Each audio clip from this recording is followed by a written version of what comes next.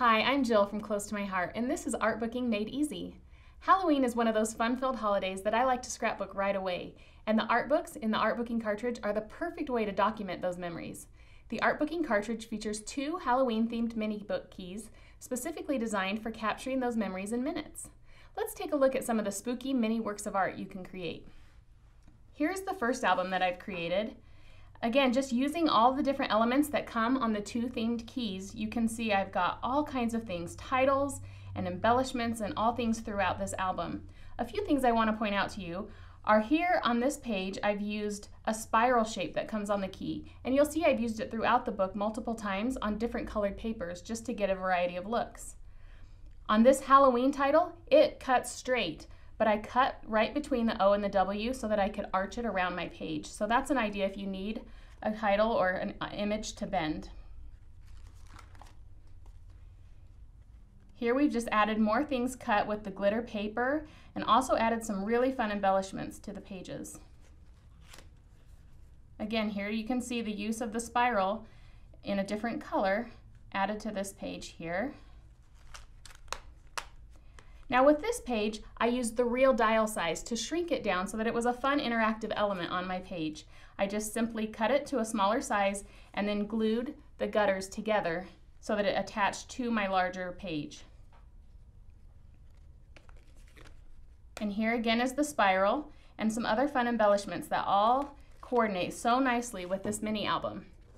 Now I've cut a separate album that looks completely different from the first but again using those same two keys.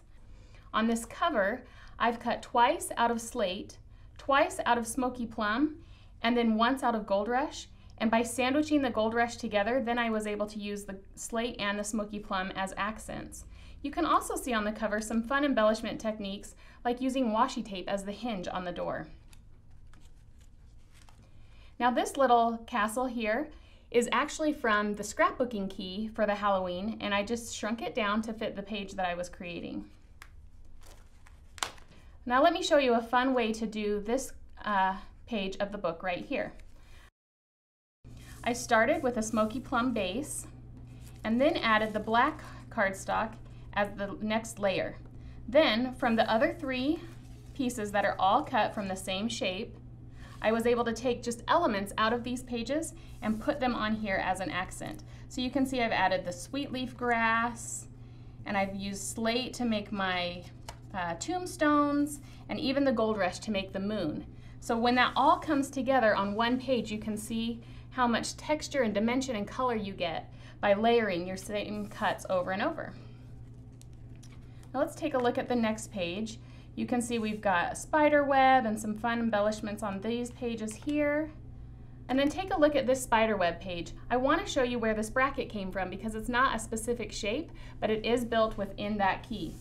So on that page, I started again with a smoky plum base, my black spider web, and then I cut the bracket shape right out of this uh, gold rush piece and layered it on top of my page. So that's how we got that fun bracket embellishment. So you can even find things that are non-Halloween themed and pull them out of the same keys. Here we've got another fun layout within the book and then let me show you how this jack-o'-lantern page comes together. I started with a creme brulee base and then I cut both a black and a gold rush piece of the pumpkin face and then when I make the shadow I'm just going to offset the black from the gold rush. When I glue them together, I'm going to line up the creme brulee and the gold rush together and then trim off any of the black that comes through and then you'll have that shadowed look on your pumpkin. Now I want to reference you back to the first page of this album again. I had cut this castle from the Halloween scrapbook key on the cartridge, but I want to show you how you can use these shapes for many things beyond just the themed key.